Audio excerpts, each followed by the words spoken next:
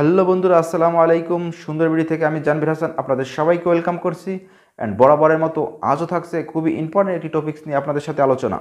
বন্ধুরা, বর্তমান সময়ে শ্বাসকষ্ট সমস্যাটি খুবই একটা কমন সমস্যায় পরিণত হয়েছে।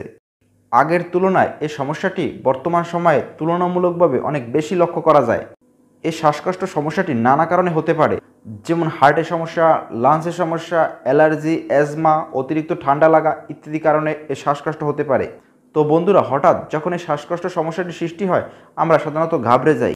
ভেবে পাই না তখন আমরা কি করব বা কি করলে একটু শান্তি পাব, যতক্ষণ পর্যন্ত না ডাক্তারের কাছে যেতে পারি।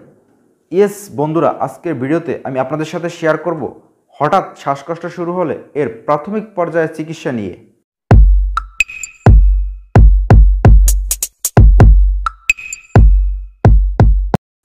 প্রথমত, বন্ধুরা, শ্বাসকষ্ট শুরু হলে আপনাকে প্রথম যে কাজটি করতে হবে সেটা হলো আপনার মনোবলকে শক্ত রাখতে হবে।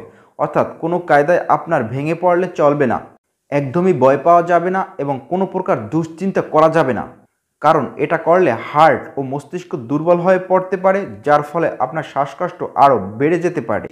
তাই এ সময় মনকে শান্ত রেখে স্টেপ নিতে হবে। শ্বাসকষ্ট শুরু হলে কখনোই শুয়ে থাকবেন না বা হেলান দিয়ে বসে থাকবেন না। এ সময় আপনি সামনের দিকে একটু ঝুঁকে বসুন, দেখবেন আপনার শ্বাসকষ্টে অনেকটা কমে যাবে এবং আপনি অনেক আরাম পাবেন। আর যদি বসে থাকতে না পারেন, তবে কাত হয়ে শুবেন, কখনোই চিত হয়ে শুবেন না। বন্ধুরা, শ্বাসকষ্ট শুরু হলে আপনারা শ্বাসকষ্ট উপশমকারী ইনহেলারের সাহায্য নিতে পারেন। স্পেশালের মধ্যে এক চাপ দিয়ে তার মধ্যে পাঁচবার শ্বাস টানুন। এভাবে আপনারা পাঁচ চাপ পর্যন্ত নিতে পারেন। যদি আপনার বাসায় স্পেশাল না থাকে তাহলে একটা কাগজের ঠোঙার ভিতরে ইনহেলার একটা চাপ দিয়ে তার ভিতরে আপনি শ্বাস নিতে পারেন।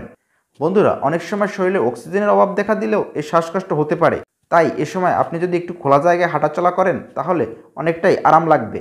তো গাইজ এই উপরোক্ত পন্থাগুলো অবলম্বন করার পরও যদি শ্বাসকষ্ট না কমে, তাহলে অবশ্যই দ্রুত ডাক্তারের স্বর্ণপন্ন হতে হবে। তো বন্ধুরা, এই ছিল আমার আজকের ভিডিও ভিডিওটি সামান্য পরিমাণ উপকারে আসলেও প্লিজ ভিডিওটা লাইক করবেন। আর কমেন্ট করে আপনার মূল্যবান মতামত আমাদেরকে জানাবেন। আর এ সমস্যা আপনার ফ্রেন্ডস অ্যান্ড ফ্যামিলি পড়তে পারে, তাই তাদের সাথে শেয়ার করতে একদমই ভুলবেন না। আর সুন্দরবাড়ি চ্যানেলটি সাবস্ক্রাইব না করে থাকলে অবশ্যই চ্যানেলটি এখনই সাবস্ক্রাইব নেবেন। আবার চলে আসব নতুন কোনো টপিক্স নিয়ে। সে পর্যন্ত ভালো থাকুন, সুস্থ থাকুন, আল্লাহ হাফেজ।